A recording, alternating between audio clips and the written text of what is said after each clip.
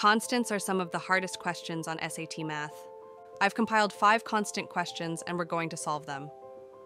I'm assuming you know what a constant is, but if you don't, all you need to know is that a constant is an unchanging value, a constant one. Okay, so this is the first problem. This problem gives us an equation and tells us two points that land on the equation. We're looking for the constant k, and one of the points is in terms of k while the other gives us a pure value, negative 4. So let's pull up Desmos to find the value on the second point. We know y is equal to negative 4, so if we make this line, we can find the x value. The value is 8, and if we solve on the original expression, we can simply tell that k equals 0. Okay, let's move on to a simpler question, one that should be solved in under 30 seconds. This problem gives us an expression, an expression it's equivalent to, and asks for the value of k.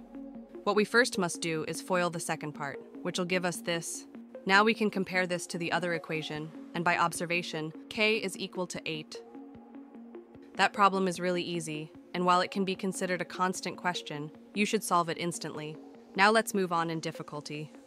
Here's the next problem. It gives us an equation, tells us the difference between the two roots, and asks for the value of k.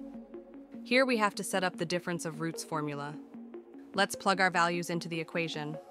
And since we know that the difference between the roots is 6, we can just set these equal to each other. Now we solve and the simplified answer is plus or minus 2 square root of 34. That problem is a lot harder conceptually, and unless you know the difference of roots meaning, you might get stuck on it. Now let's move on. The expression is equivalent to a linear expression for all x except x equals negative 2.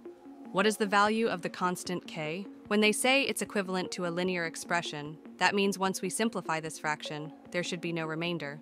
The numerator must be divisible by the denominator, perfectly. So what we want is to create a numerator that has the factor x plus 2. Here's an equation that matches this.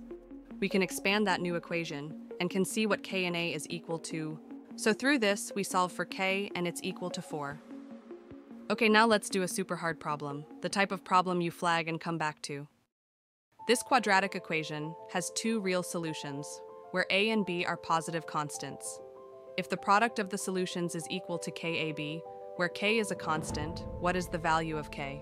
Here's the problem with this type of question. It can take really long to go through and figure out the solutions and multiply them out, but in reality it's simply about knowing the formula.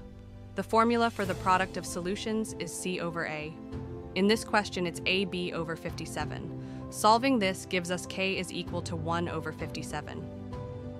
And that's a wrap on our five challenging SAT math problems. Drop a comment below with which problem stumped you the most, or suggest a topic you want to see next. Follow for more.